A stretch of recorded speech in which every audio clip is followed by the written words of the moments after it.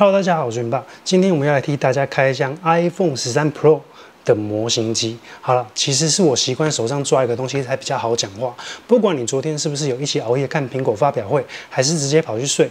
我今天就在这里替大家做资料的整理，让你几分钟之内看完苹果发表会。在开始之前呢，顺便跟大家说一下，康宁玻璃保护贴的创始者 iMOS 针对 iPhone 十三系列，同样提早推出了对应产品，包含二点五 D 的康宁玻璃保护贴，以及更滑顺的蓝宝石玻璃保护贴。那背面的镜头也有蓝宝石金属框镜头保护贴，而且这次他们还推出钛合金版本的镜头保护贴，以及通过军规认证的双料防。防震保护壳。那如果你想要完整保护的话，那你也可以到摩斯密码做全机包膜。好，那我们就开始吧。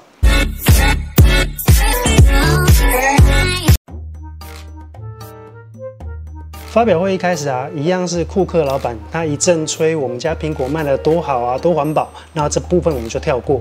第一个登场的产品是 New iPad，它是有实体 Home 键的老 iPad 翻新的版本。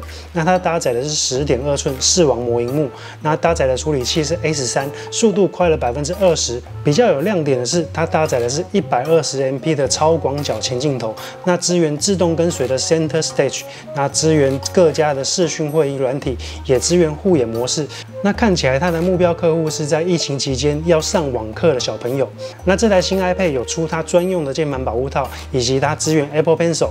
那售价是三百二十九美金，教育版是二九九美金。那下周就会开卖。接下来是全新的 iPad Mini，终于改版了。它长得就像一台缩小版的 iPad Pro，它一共有四个颜色，其中最多人喜欢的应该会是紫色。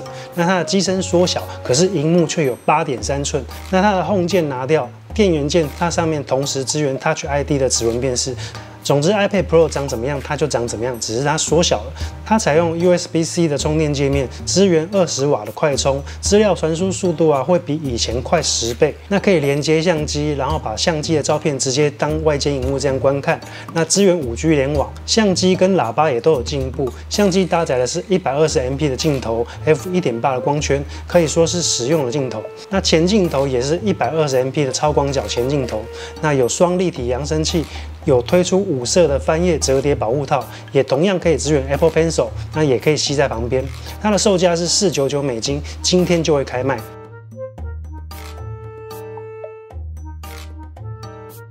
再来看到 Apple Watch Series 7，它主要的改变呢是荧幕的屏占比更高，续航力可以达到一天。那这一次它推出了五种颜色，荧幕边框更窄，显示面积几乎是到荧幕的弧度边缘。那玻璃也更耐摔。影片当中啊有展示了摔车到沙石地，而且这次有大量展示一些冲浪的水上活动。那它支援 IP 六叉，它可以显示更多画面，文字也可以更大。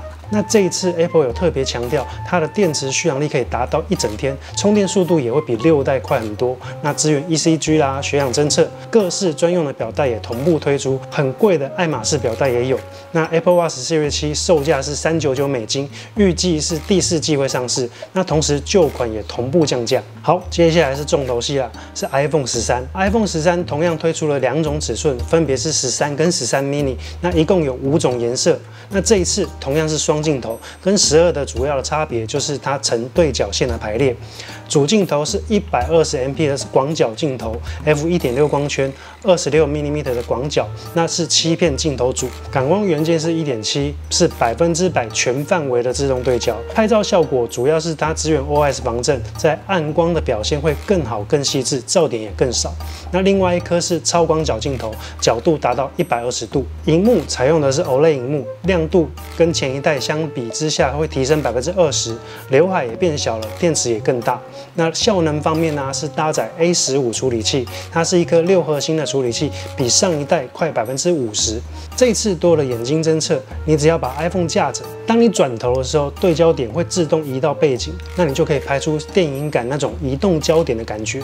那它也支援 4K 六十 FPS HDR 的影片拍摄。那它的电池变大了，续航力可以用到二十四小时，跟 Apple Watch 七一样。那售价方面啊，iPhone 十三是卖七九九美金，iPhone 十三 mini 则是卖六九九美金。最低容量从一二八 G 起跳，分别是三种容量：一二八 G、二五六 G 以及五一二 G 三种容量。接下来是专门卖给专业人士的 iPhone 十三 Pro，它这次同样推出两种尺寸，分别是 iPhone 十三 Pro 跟 iPhone 十三 Pro Max。那荧幕分别是六点一寸跟六点七寸，一共有四种颜色。那外观方面跟十三最主要的差别，除了镜头之外，它的边框是镜面的，像这样是镜面的，会有反光。荧幕的玻璃也标榜着更耐耐摔、更耐刮。那同样支援 MagSafe 的各种配件，在效能方面跟 iPhone 十三一样，搭载的是 A 十五处理器，做什么都会比以前快很多。那荧幕搭载的是 Super Retina SDR 荧幕，亮度最高可以到一千尼特，而且是支援一百二十赫兹的反应时间。Apple 叫这一块荧幕叫做 Promotion 的荧幕。那这一次由苹果推出的一百二十赫兹荧幕啊，应该会引领所有的游戏厂商直接跨入一百二十赫兹的显示。那在相机的部分啊，搭载的是三镜头相机，分别是广角、超广角以及三倍望远镜头。那它的广角镜头啊是 f 一点五光圈、一点九的感光元件，那提升二点二倍的夜拍进光量。超广角镜头是一点八光圈六镜片组，那支援自动对焦，那提升的是百分之九十二的夜拍进光量。再来是三倍望远镜头啊，它是七十七 mm 的望远镜头，在相机的界面会看到三倍的光学变焦。像我自己是安卓用户，iPhone 十三的规格啊，乍看是还好。事实上，iPhone 的强项在于拍摄的宽容度以及手持拍摄影片的稳定性。那它同时在夜拍的噪点啊，在演算法之下会更少、更纯净，而且三镜头拍出来的色泽啊、彩度都会相同。那它这一次支援超微距拍摄以及夜拍模式，也支援 ProRes 的模式。那官方表示，电池续航力可以达到一整天。那两款都比前一代的续航多了两个小时。